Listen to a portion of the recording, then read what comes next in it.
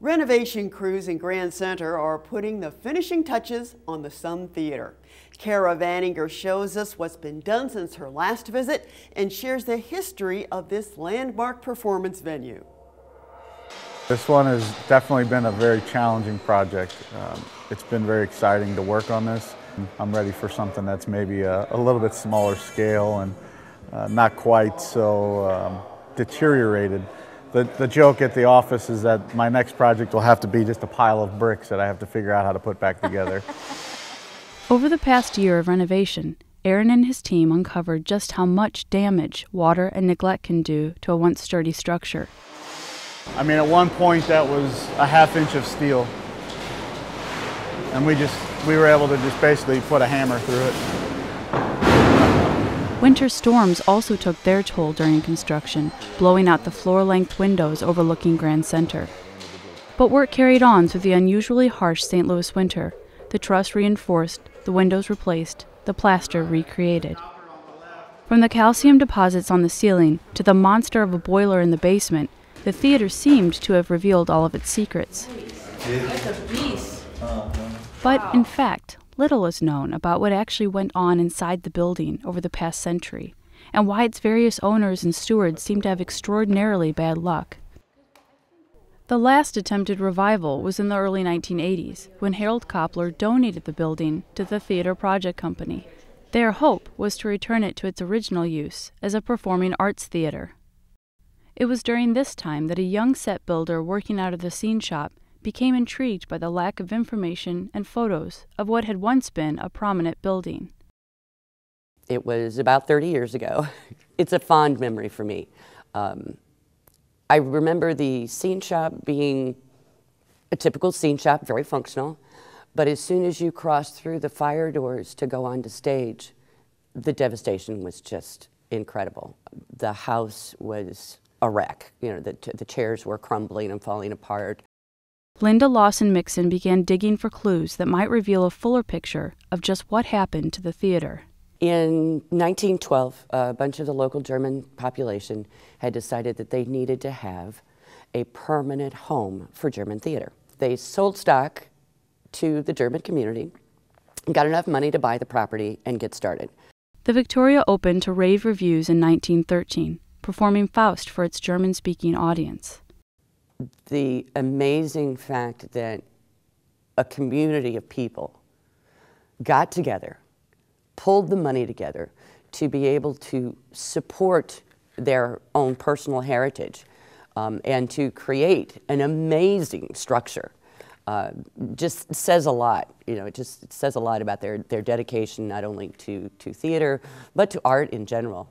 It didn't take long for the theater to earn respect, and it was selected for not one, but two Edison tone test performances. It was this big promotional event, and they were doing these all across the country. The concept of the tone test was to sell Edison's uh, diamond disc recording system. A vocalist would take the stage and sing, Edison's device recording her voice.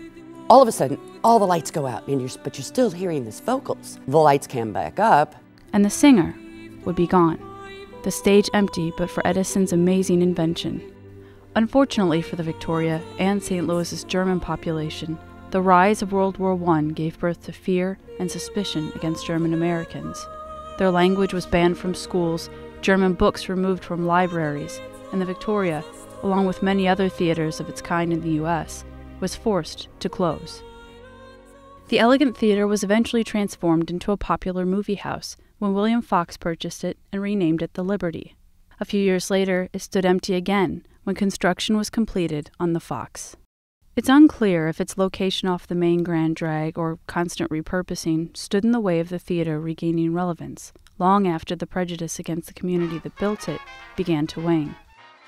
It spent several decades morphing from nightclub to gentleman's club, from theater to cinema, burlesque house to church, constantly changing names, proprietors, and swinging from one end of the reputation spectrum to the other. In the end, it seemed to be simply a space for things to happen, with no identity and no one investing in it for the long term. Even the energy and good intentions of the theater project company weren't enough, and the plans for a rehab in the 1980s fell through. Now, three decades later, it's getting the attention that Linda and so many others have hoped for. I would never have imagined um, that it was that beautiful.